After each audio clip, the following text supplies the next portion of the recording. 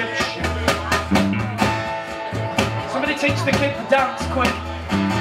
Walk like an Egyptian.